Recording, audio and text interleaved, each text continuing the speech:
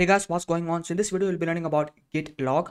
Although we have learned about git log in while we were covering about branches and commits, but I think I think it's really great time to stress upon git log and and learn a couple of its flags.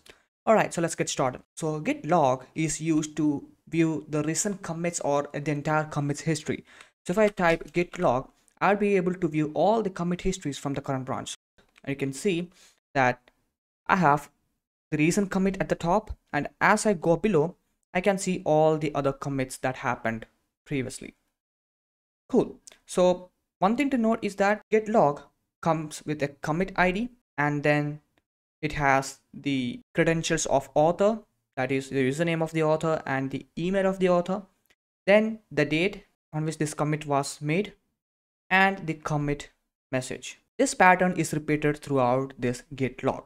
Now let's learn about a couple of its flags that is really useful along while we are working with git log. So let's come out of it by pressing Q, this Q. All right, so let me clear the screen. So one flag that we are going to learn is called the one line flag. If I do git log dash dash one line, you would notice that it has now printed me a chunked small minified version of the git log.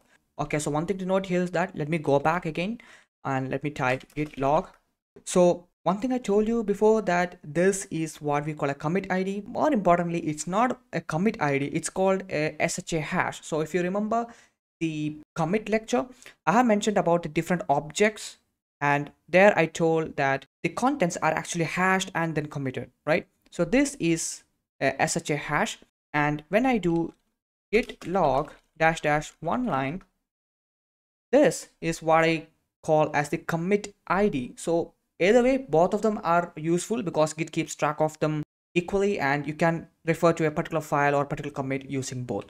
So here we have a shorter commit ID and we have the commit message. So I don't see any dates or any credential of the author who did it. And it's really useful if you have lots and lots of commits being committed inside your working directory. So let's come out by pressing Q Okay, so another flag I would like to mention is something called as the graph. So you do git log dash dash graph and graph actually gives you a representation how your commits looks like. So all the way from start to the end, it will show you the commits made. As you can see here, the dash is representing the progress and the star is the commits. So this is the latest commit as you can see here and the head is over the latest commit so as i go down you can see this is the next commit which is also followed by a star or asterisk and so on. So where is this useful? So this is useful to view how your entire commit looks like. So let me come out. And if let me actually create two to three branches and make some dummy commits. So let me do git checkout dash b test.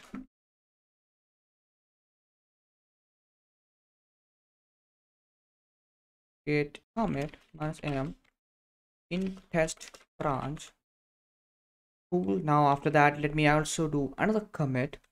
Say commit to in test branch. Let me commit this one too it. Commit dash am okay. Come out of the uh, test branch. So i do git checkout master. Let's create another graph. Git checkout dash b test 2 and let's make some commits. Like uh, let's do some inside test 2 go ahead and do some changes over here.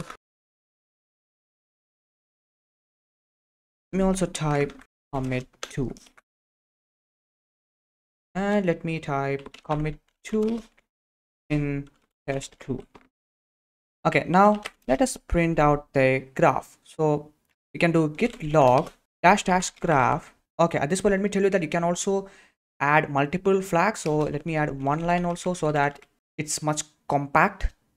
And let me hit enter. Hmm. Well as you can see that this is not exactly printing the way it should. The reason being that if you notice the latest commit that is here we are currently inside which branch? Test2 branch.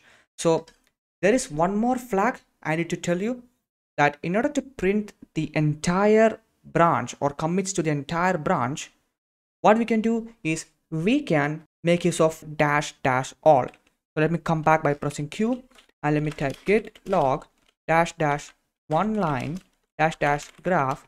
And it does not matter in which order you put the flags in. So we put git log dash dash one line dash dash graph and dash dash all it will print out all the commits from different branches and it will show us in a very neat form. So if, if i press enter you will notice that at the beginning we did a sample commit and all the way up. And the master branch got diverged into two branches which is the test2 branch this one and the test branch. So it is much more easier to visualize these using these flags. So if we, if you simply have gone by doing git log we could not have experienced this.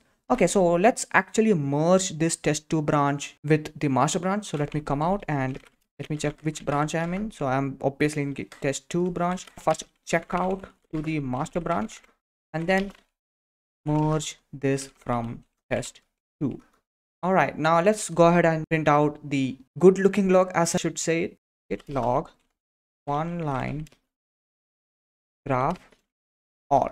Now you can see that we are currently in the master branch and test2 has been merged right? So all right guys that's all for this video i hope you really understood about log and the different flags in fact three flags that we learned about log one line graph and all these flags are really useful and helpful uh, when we run across several conflicts or if you want to get to know about different branches and how they are actually spread out inside the entire commit history.